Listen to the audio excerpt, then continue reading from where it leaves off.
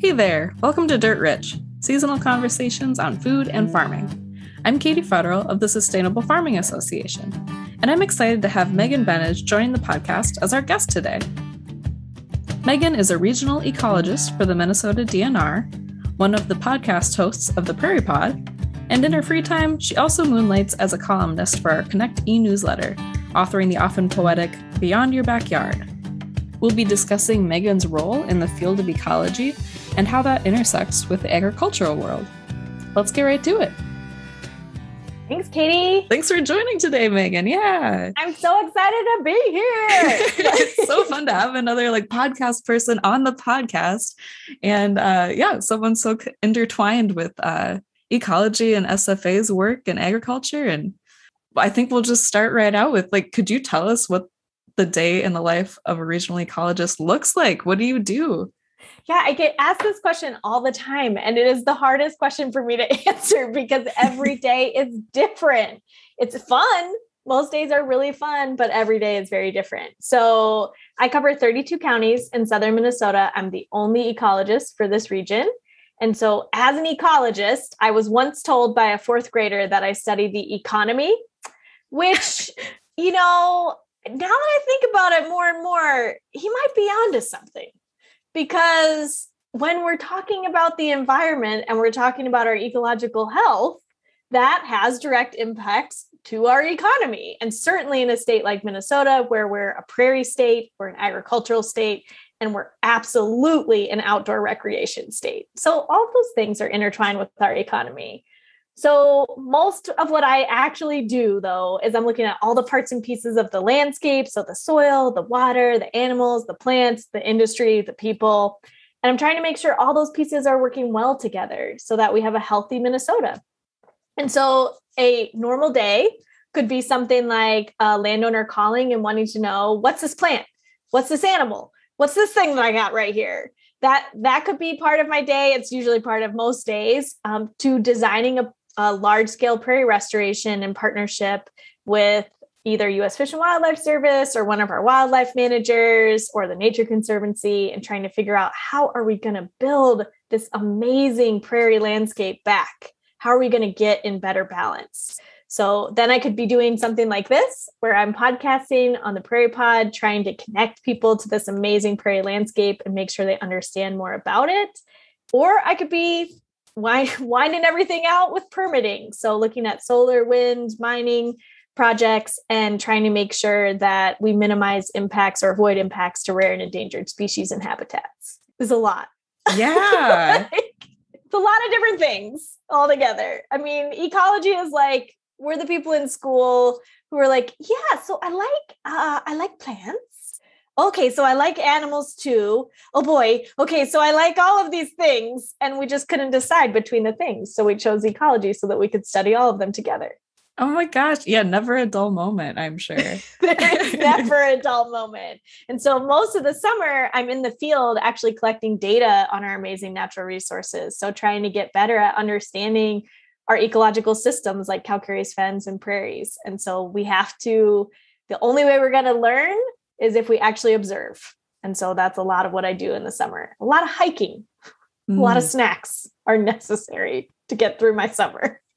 Right. Yeah. Just before we start recording, you were mentioning um, that it's been a very busy time. What's what are your focuses right now? What are you keeping busy with? Yeah, it is a very busy time. So during the summer, like I said, I'm out collecting data on our calcareous fen communities. So in Minnesota, those are protected under state statute. And so I am basically looking at them and trying to evaluate their health and their current status. So do they have impacts?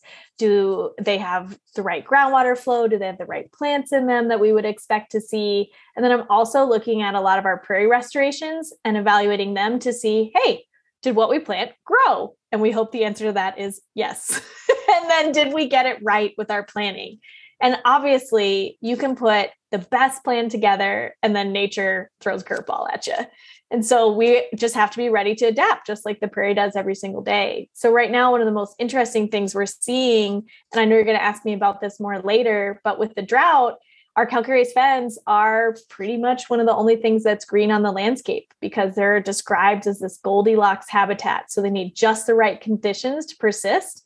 but they rely on a constant supply of upwelling groundwater. And so they basically are a stable fixed point in the landscape as long as we're not doing anything, people, that's the we, as long as we're not doing anything that would draw the water away from them. So it's pretty neat because the plants in them have been happy, just living in their little Edens, loving their life. So that's been nice, nice to see for sure. Oh, absolutely. And for, I mean, I hadn't heard of a is it calcareous? I know we chose the hardest word possible so that people then have to do that when they're like, what's that cool, neat wetland habitat you were talking about? The calcareous fen. Yes. Yeah, so calcareous because it's calcium rich. Okay. And so if you just say we have different kinds of fens in Minnesota, and so not all of them are calcareous fens. And so that's the distinction that we're making that these have a high level of calcium, which makes them actually a really difficult environment for a plant to live in. And so some of our plants, they're literally sweating calcium because they have so much of it. The pH is so high. This is not going to come as a surprise to the farmers who are listening, but most plants like a pH somewhere around five and a half, six and a half. It may be six and a half to six, eight being like the optimum range. And so when we start getting things above seven, which is what we're dealing with in a calcareous fen, that is a tough environment to be in because you have a tremendous amount of calcium that you have to deal with. So you have this one adorable plant called the low nut rush that actually uses that calcium to form the shell of its seed. So nothing goes to oh, waste. Oh, is that the one with the little like snowball yes, like thing? Okay, like that was in one of your columns.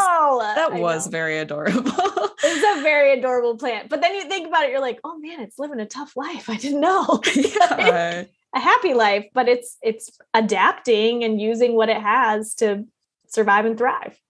So, I mean, clearly you are extremely passionate about ecology and Minnesota wildlife and ecology. What originally drew you to this field? What what sparked your interest? I mean, I think I'm gonna have to say my mom, right? Like, mm. like I think that's yeah. I think that's what the answer that we're gonna have to give. So my mom is probably one of the most amazing people on the planet. Although I'm not sure she knows that. Mom, you should listen so that you know that. So she is absolutely wonderful. And when we were kids, you know, we we were I don't know. We didn't have a ton of money, so we went to national parks. That's what we did. I probably have a junior ranger badge from every national park. Not yeah, every single one yet. Those were so fun. Yeah. I know. I'm getting there. I'm getting close. I've got an impressive stack of ra- junior ranger badges in my closet.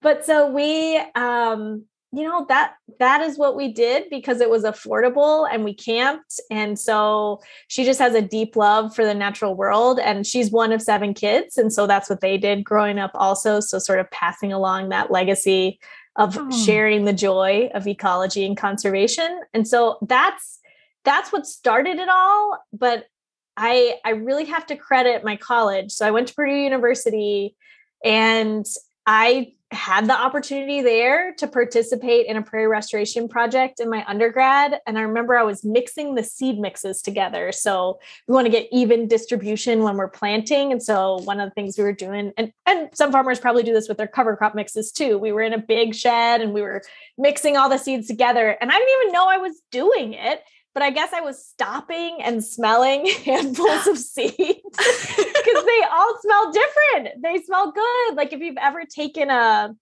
uh, I'm trying to think of the common name. I'm like a Ratibida pinnata. That sounds so ostentatious.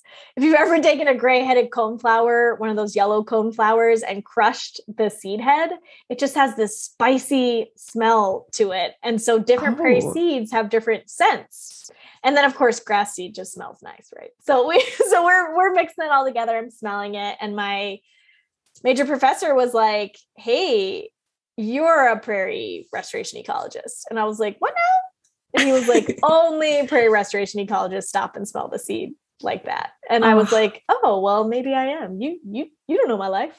So, but but he was very right because I just fell in love with the mystery and the wonder of the prairie, and there's nothing else like it. It's absolutely incredible, and to be in a state like Minnesota, where we are absolutely blessed to have so much more of the prairie left than a lot of states do. Uh, and that's coming in at just under 2%, which still is not a lot. But to have hmm. 235,000 acres of remnant reference prairie to go to and explore and understand that puzzle better is really a gift.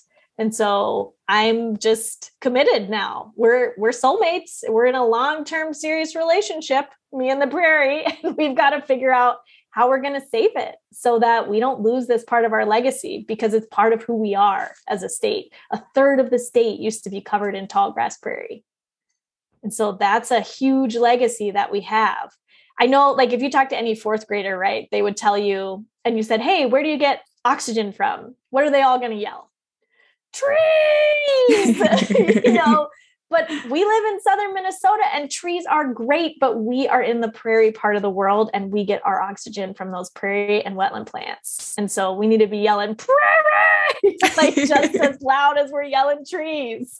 so uh with the your comments on the junior ranger and then I like I'm remembering these maps that we've often seen of the kind of like Minnesota break broke down into thirds of like this is like coniferous forward and the hardwoods and this is the prairie section and maybe so it sounds like the prairie section may be a little bit more generous than it actually is. Is it more patchy rather than a It's pretty patchy. Yeah. Yeah. So it runs all the way up uh northwest corridor of Minnesota down to southwestern Minnesota and then over to southeast Minnesota with a chunk in the center also.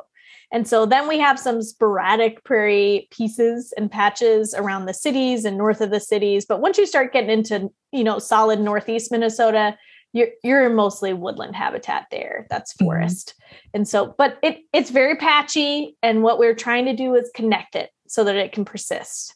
That's diversity, connection, and community are if I could have taglines that I put on a button wore, those would be the three taglines that guide my work diversity, connection, community. It's how we're going to get everything done. And it's it's true from if you, I'm looking at it as an ecologist, that's true. But also if I'm just looking at it from a social dynamic as a person, it's true. We're only mm-hmm. going to accomplish what we need to accomplish with diversity, connection, and community. I like that a lot this part of the state that you're talking about that has a lot of prairie and you're trying to connect also is a like I want to pull this into agriculture now. Um, there's a lot of farmland there. And and so Absolutely. I mean looking at that and I'm curious generally like how has your work as an ecologist intersected with like the agricultural world? Oh, it's incredibly intertwined. I mean, there are so many opportunities there to partner together, to work together, to figure this out. Mm-hmm. Um, we as a state, you know, we have roughly 55.6 million acres. These are the stats that people can repeat at dinner time just to be like, look at how cool I am. I know how many acres we have. And 27 million of those are in agriculture. So we are absolutely only going to achieve what we're trying to achieve by working together. And the agriculture mm-hmm. community has a huge potential to affect the prairie landscape in a big way. And so things that you do on farm can add and complement to this prairie landscape that we're trying to connect back to. And so we're not trying to, I want to make sure this is clear. We're not trying to go back to where prairie is a third of the state that's not going to happen. Like that's not what the goal is. But we want to take those 235,000 acres that are sometimes in these tiny separated patches and we want to connect them together so that we get big enough chunks of connected land so that the prairie can be resilient and do what it's supposed to do because we benefit from that. If we have healthy connected habitat, that directly impacts our quality of life. And so and that could even there's agribusiness opportunities there also whether we're talking about mm-hmm. honeybees or we're talking about grazing grasslands. And then agribusiness aside i like to breathe clean air. I tend to enjoy that. It's something that seems like it's important to me in my life. I also like to drink clean water and i like to have flood control and i like to have drought resilience and prairies do that they do all of those things for us. And so sometimes we just see them as like a patch of land and we wonder what it's going to become, but it's already doing yeah. this wonderful, magical thing for us. And we just have to learn more about it so that we can understand those connections. I always like to tell people you know, because most people drink coffee. I shouldn't say most people, some people do. They like coffee and chocolate. And we just sort of forget that everything is connected in this world. And so you can thank a bee for your morning cup of coffee and you can thank a fly for your afternoon chocolate break. And so these are these are all things that rely on other habitats to exist. And so it's weird to think about as you're sitting there having your your morning pick me up that you're like, I should be thanking a bee right now. But you, but you should because it's all connected. Uh, yeah as a as an aspiring beekeeper i th- that's an easy connection for me to like think of like oh yeah i would enjoy my first you know cup of tea in the morning even just like thinking about honeybees too and right, appreciating exactly. them but yeah, yeah, it is it, it, does get so separated sometimes i think even uh, looking at like prairie land you would see it, it would be easy to see that as very separate from farmland or to wonder why like oh should we well, and that's how we're taught too. I had a great conversation with Kent Solberg about this the other day. Mm. I hate giving him compliments, but I'll give him some. So, you know, we had a great conversation about it. How typically, traditionally, um, we're taught as conservationists to sort of put agriculture separately. And I think agriculturally, yeah. And I'm not talking about regenerative agriculture, but like conventional agriculture, I think we're taught not to think about those conservation aspects. And the two go together, they have to go together. So every regenerative agriculture model that we have is based on how a prairie is just living its life and highly functioning and doing all the things that it's supposed to do. I mean, if you look at the work that Gabe Brown has done at his farm, he will even say, I'm going to paraphrase him, but he will even say that he is looking to the prairie to figure out how it's doing what it's doing. And it comes back to diversity, connection, and community. And so, mm-hmm. if we can instill in our farms some of what the prairie is teaching us, trying desperately to teach us every single day, we're not only going to be more profitable, but we're going to be a healthier population. And I'm going to go so far as to say we're going to be happier because when you have your you're taking care of your land and you're taking care of yourself it's just it just all comes together right? Yeah it seems like some application for that little hierarchy of needs like th- these things are all coming together when the you know the function at a most basic level is working out. Absolutely. It's just the balance is the tricky part figuring out how we're going to get everything in balance. And we make no mistake we are not in balance now. And that is i think I like to be really positive about all these things that I'm talking about, but we also have to be honest. And so we are to have 2% of a landscape left and to expect it to function like it has, you know, 100% is not going to work. It can't. And so we're going to have to find a way that we can complement what we have left so that it can work, so that it can be resilient, because we are facing a lot of really scary things, particularly climate change. And I'm sure everybody who's listening knows gosh, we we just came out of a bunch of wet years and now we're we're in a drought. It's feast or famine and even when it's feast, it's unpredictable feast, right? 6-inch rain is not a fun thing to deal with. And so we've got to learn from the prairie. There's very little runoff coming off of a prairie with a six inch rain. So, what is it doing? How is it maximizing that resource and capturing that water so that it stays on the prairie? And if we can mimic that and do that on farm, we're just going to be better, better at life mm-hmm. in general. Ah, I appreciate this so much because we SFA goes a lot off of like the five principles of soil health, which seem to also just be like principles of the prairie too right? Like we have like have a diversity in the soil having a living root in the soil integrating livestock or like animal wildlife. Um and i really appreciate what you were saying about like we're we're looking to the prairie or we're looking to this ecosystem function um because it seems like a lot of answers or solutions or resilience builders um, that we are kind of can be in desperate need of or looking for right now um, is accessible. And in front of us if we pay attention it's also you know indigenous knowledge too that has been like mm-hmm. it's it's been there all this whole time. It's right there. The land has much to tell us if we just sit for a while and listen to what it has to say. And so what are some like practical examples i suppose of um, what that could look like on a farm? So you're talking about water infiltration or retention. Like what lessons from the prairie could you implement on a farm to do that Yeah. So it's how do you incorporate diversity on farm, right? And so mm-hmm. one of the one of the number one things I'm going to recommend, it's not going to be surprising, is that try to carve out some habitat acres onto your farm. Mm. Because, mm. and if you want to know, well, okay, so this is just going to be my set aside area. That's often how it's described to me by farmers yeah. or for folks. And I'm like, no, it's not your set aside area. This is your predator production area. And so you want to grow a good prairie on your farm so that you get good predators that are going to eat things like soybean aphid for you. You mm. want to create a nice little habitat so that your lady beetles are flying all around and they're hungry and they're ready to go after the pests that you traditionally have on farm. And so that is you know providing that habitat isn't just critical for you know something really nice to look at. It's not just set aside. It is working. It is producing something that is going to be usable for your production and for your bottom line.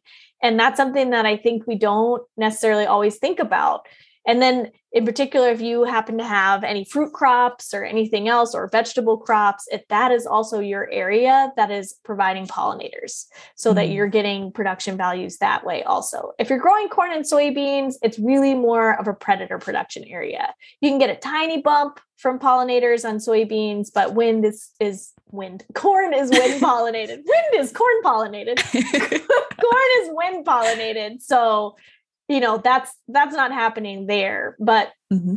things that you can do in those more traditional crops is you want to try to diversify your rotation no till or zero till is the phrase that i'm going with that i like a lot mm. more reduce your tillage as much as possible and then cover cropping can be hugely important and then nutrient pest management one of the most challenging things is trying to figure out how we can get to a stable state where we're using less pesticides because it's a tool that we have in the toolbox. It does something mm-hmm. for us and it's part of our production model. But if you hear Gabe Brown and these other folks talk, they are at a point where they're not really using insecticides because they don't need to, because they've got natural pest control. And so all of those things, I call it a system so, and I'm sure you mm-hmm. do too. It's a soil health system, just like a prairie is a system, just like our bodies are a system, just like a car is a system for analogy. You want to have all of those parts and pieces in it working together to get you the best outcome. And so I, you know, start with habitat and then you can get get in adventurous, put your soil health system in place, and then you can go even a step further and start doing even more fun stuff like putting prairie strips in between the different rows of your crops. And they've seen in Iowa that with their prairie strips project, they are more profitable on those acres with strips of perennial vegetation in between because of those predator dynamics and also because that perennial vegetation is trapping and infiltrating water and it's also trapping sediment from leaving the farm. So, soil, your resource, it's keeping it there on farm. And so they're able to be more profitable with some of the land actually taken out of production and put into prairie strips because of what that perennial vegetation can constantly do in conditioning the soil. Ah, you love to hear like the solid resource or research that uh, establishes the economic benefit too, because I think yep. that that'll grab a whole other group of people to make it look more or make them realize that it's doable and it's going to be helpful. It's less scary to make that change, I think, if it there's a lot doable. of foundation there. Yeah. It's absolutely doable. And we cannot let Indiana beat us. Come on, we Minnesota. Let's talk about it. Indiana is reporting numbers of 70% no till soybeans. We can do that we can do that. And I know some people listening are like, well, I'm in northern Minnesota and it's much colder here. We can do it. we can do it. It's particularly with soybeans. That is low hanging fruit. And I understand there's changes we have to make to our operation. Change is hard. No matter mm-hmm. no matter what, yeah. change is hard. There's there's money I understand there's also access to land issues and everything else, but where there's a will, there's a way. And the weather is not going to be the thing that stops us. It should be the thing that drives us towards it because we are just mm. going to be in this cycle where it becomes even more unpredictable. So we need to make sure that we are putting the things in place on farm that give us that solid foundation. I had a great conversation with a farmer two weeks ago who basically said to me, that he waited. It was very interesting. He was like, I've watched my farmer do no till for 30 ish years. And I finally decided to do it this year. He's like, I'm getting ready to retire. My son's already taking over some of the acres. And I was like, wow, you waited 30 years to do this. And he was like, yeah. And boy, am I glad that I did because there's no runoff coming off of my farm and my corn looks great this year oh, in the drought. Wow. And it was like, we can do a scientific study that shows all of that, right? We can do the study and have the research that shows how, how much sediment, you know, runoff you reduce and how much nitrogen and phosphorus stays on farm and how much water stays on farm. But you don't even need the study because he can see it happening yeah. on his farm. He can see what the changes are are benefiting and he was just kind of slow smiling to himself and he was like, "Man, did I do it at the right time?"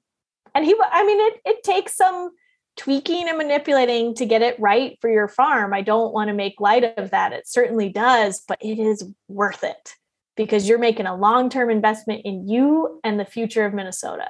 And that's got to that makes you feel good at the end of the day. Yeah. And I think that brings forward such an important piece of um, connecting farmers to each other because some people will be trying these things and it's through that kind of back and forth and the tweaking and seeing what works in different contexts that can like help make that easier like it it's i hope people don't necessarily feel like they're going to have to reinvent the wheel i mean maybe no, it looks different in northern not. minnesota than indiana but there's got to be someone who's trying things that you can bounce ideas off of and and um, there's parallel frameworks that you can use absolutely, absolutely. and yeah. then there's also to give you a prairie parallel so if you think about it if we're in a conventional system and let's say our our only two crops are corn and soybeans right you can start by adding wheat into that and and trying to diversify the rotation and figuring out how that's going to work and you can actually get to a point because i know people are like oh wheat that's not going to give me any profit you can do it in a way that if it's something like corn beans what do I want to say? Corn, corn, beans, wheat, beans. That that five year system, that five year cycle can be more profitable than just corn, beans, corn, beans, corn in that five years. So you want to think you're thinking long term also. And then, okay, here's my real prairie parallel. I just that's great alliteration and we don't want to lose it. So here's yes, my great yes, prairie again. parallel.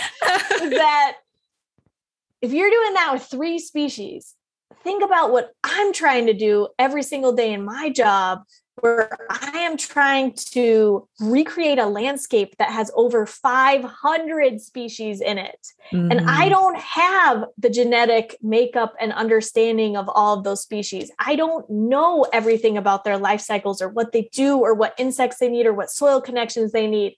I am trying to learn all of that and figure that out so that we can build the prairie back. And so it is complex, it is hard, and it is a puzzle. And it is a puzzle that you, I love what you said when you said people need to talk to each other to figure it out. That is what being a scientist is all about. Have you ever put together an actual puzzle and you're just sitting there holding a piece in your hand forever? And you're just like holding it and you're like, I do not know where this thing goes, but I know it's part of this puzzle or else I swear somebody ate part of it and it just really doesn't go. And then like somebody walks up behind you and they're like, Are you going to put that here? And you're just like, What on earth? I had no idea that this piece went right here. And it, that is the power of partnership. And that is what we were doing every single day when we're trying to look at the prairie and connect it. We, mm. somebody else knows where that piece goes and they've got that inherent knowledge and if we're just talking to each other we are going to be so much better together. And i don't just mean scientists. I mean we need to be talking to landowners. We need to be talking to tribal folks. We need to be talking to all kinds of people so that we are piecing that prairie puzzle together as right as we possibly can. Because we are not at a stage where we are ever going to recreate remnant prairie. Once it's gone it's gone. Mm-hmm. And all we're doing is creating a very valuable, very important, as close as we can get complement to that. And it's still super important to do, but there's nothing like Remnant Prairie because of all of these puzzle pieces that we have to figure out. So there's my prairie parallel. I appreciate the alliteration too. Uh, I'm going to sh- change gears just a little bit because we've brought up like droughts and flooding and other weather extremes. And so I'm curious like how has the drought affected, you know, your work this year? What are you seeing in these landscapes? And does that affect then like your conversations or interactions with the agricultural community? Yeah, I'm wondering if there are more prairie parallels here, I guess. Well, sure, there absolutely are. And I mean, you have to remember, we're Midwesterners. We have long been tied together with conversations about the weather. Like this is this is not something I swear to you. Every single conversation with my dad starts with, "How's the weather there?" Oh yes. Oh, it's this. How's the weather there, Dad? that takes about a good 20 minutes of every conversation. And certainly when we're dealing with something as serious as a drought that has long reaching impacts for our our livelihoods and our families, that's absolutely going to come up and be part of the conversation. And so, the good news, at least when it comes to prairies, is that they were inherently designed to be resilient to weather events and they're well equipped to deal with drought. They know how to do it.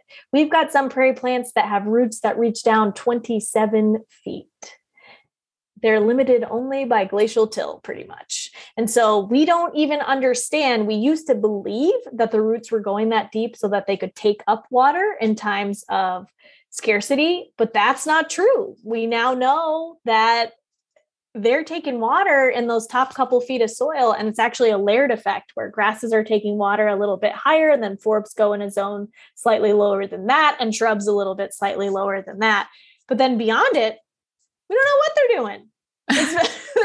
they're just growing deep roots and we don't understand why. That's another one of those great prairie puzzlers. So the prairie is neat because there are some plants that love a drought. Side oats grama, It has this long seed head, and we, you know, botanists are common sense kind of people. So all the little seeds look like oats and they're all on one side of the plant. Side oats grama.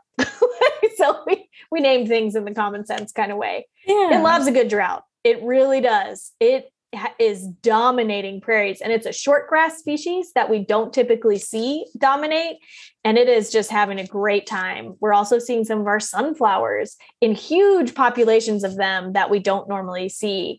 Purple prairie clover is another one that has orange pollen. And so you'll see these bees in midsummer that look like they're wearing sacks orange sacks on their legs flying around with their with their purple prairie clover pollen because it's purple prairie clover pollinating. time say that 20 times fast.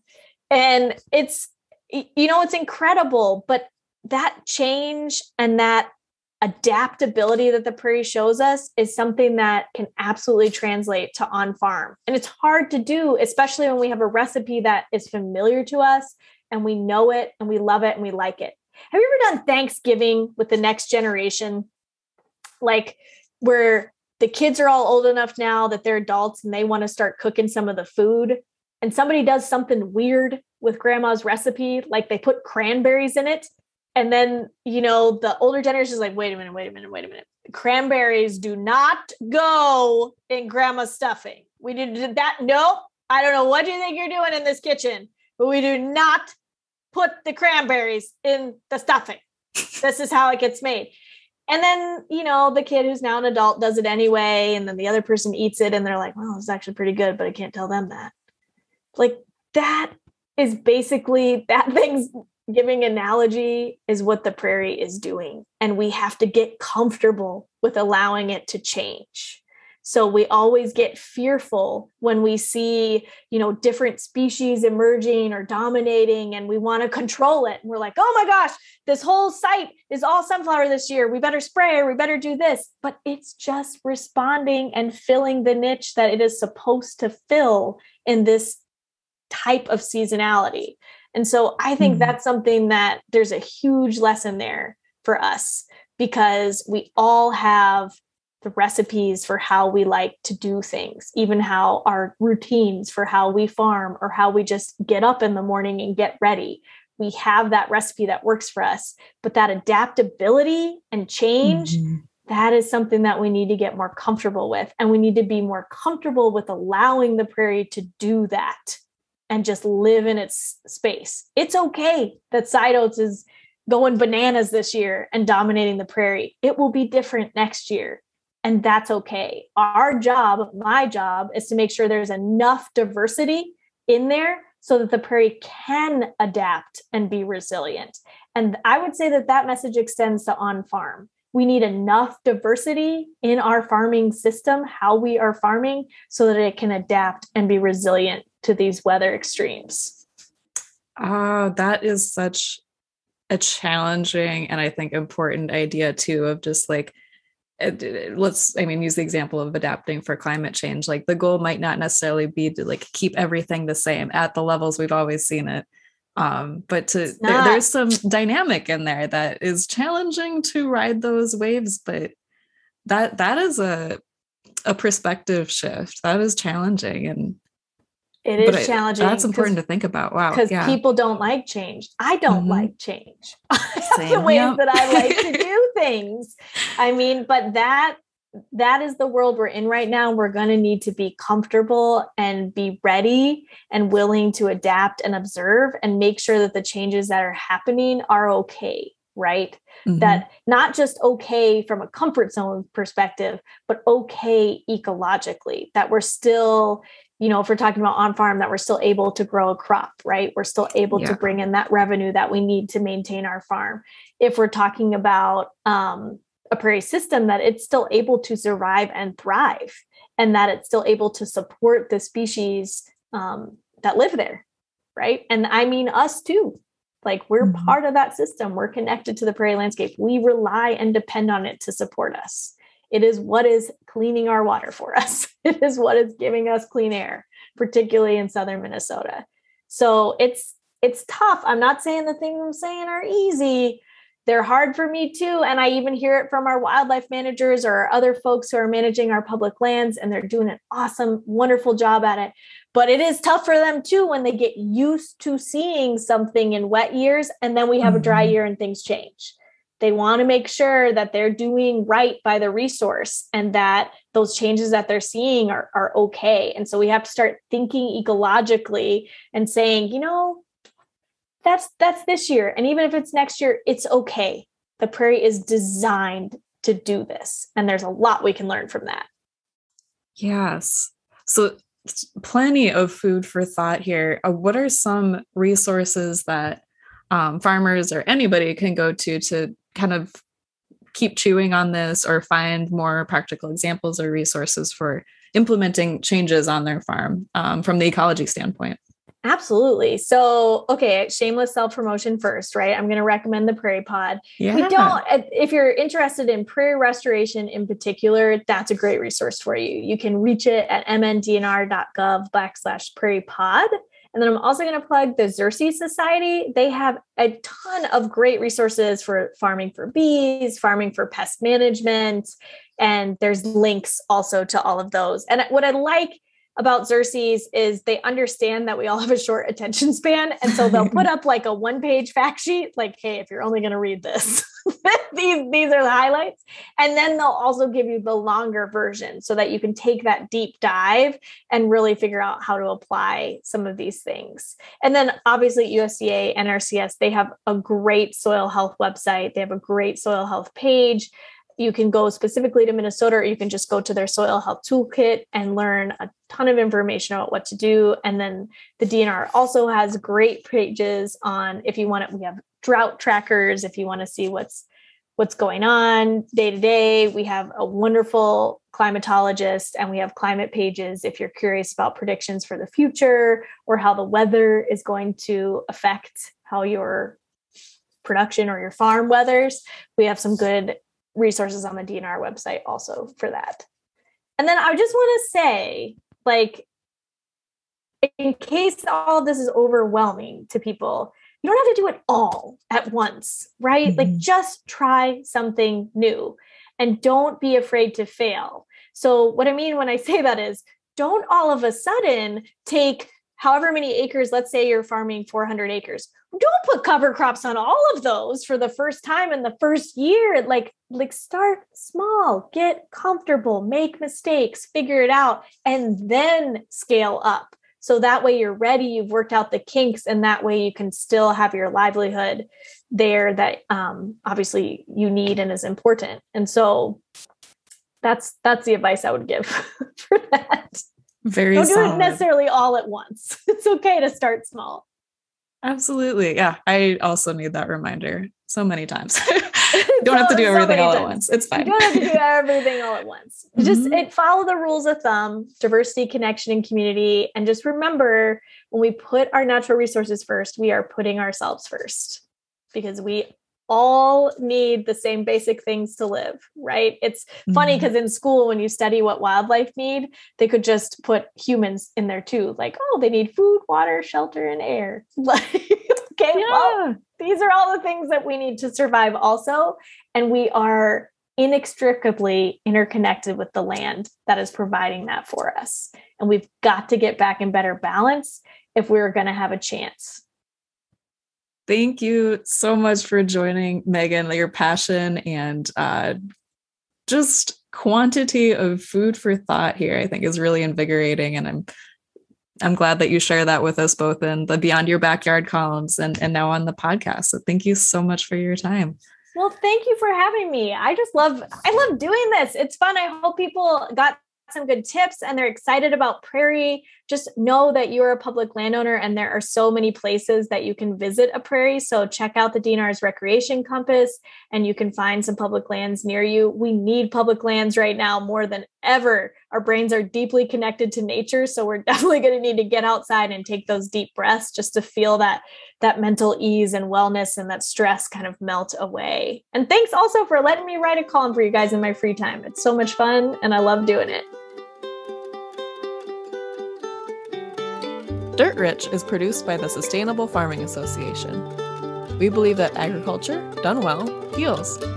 For more resources or to tap into the Farmer to Farmer Network, visit us at sfa-mn.org.